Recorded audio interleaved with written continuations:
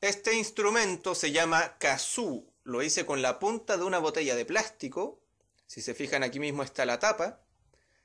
Hice varias cosas. A esta tapa le hice un pequeño agujero, que lo pueden ver ahí.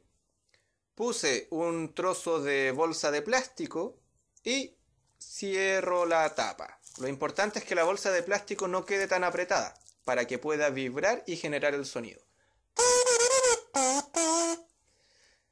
Con el resto de la punta hice dos cortes verticales, como lo ven en el video. Los enrollé en sí mismo y con cinta adhesiva los dejé formando una especie de cilindro con forma de montaña. Cuando uno sopla por el instrumento no suena. Sin embargo, cuando uno tararea y lo hace vibrar, ahí sí.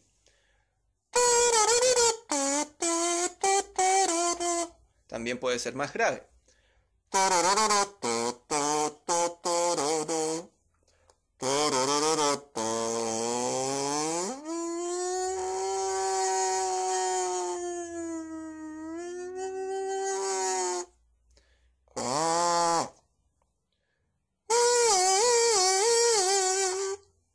Bueno, ese es el kazoo. Este es un kazoo K0, ¿sí? Hay uno muy parecido que es este, se llama Mirlitón. También lo hice con un trozo de botella. Es muy parecido al kazoo. Utilicé cinta adhesiva para generar el cilindro. Le hice acá un agujero con tijeras. Bastante simple. Y en el otro extremo puse bolsa de plástico con un elástico. Y también nos permite hacer sonidos así.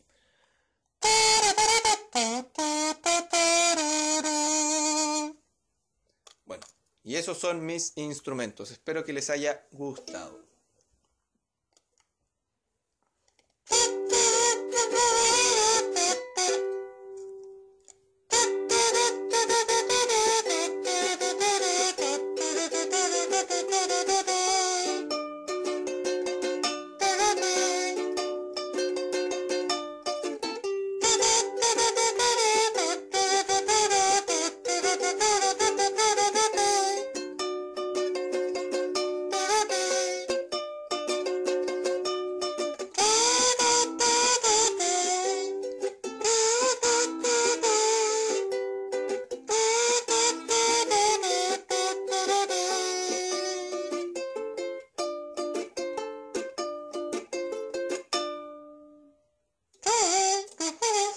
home.